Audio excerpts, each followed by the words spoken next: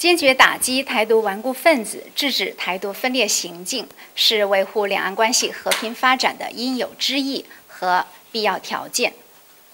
吴钊燮一再狂妄地进行台独挑衅，恶意诋毁大陆，恶意煽动两岸对立，严重的危害台海和平稳定，严重的损害两岸同胞的共同利益。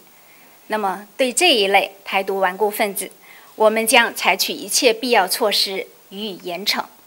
依法终身追责。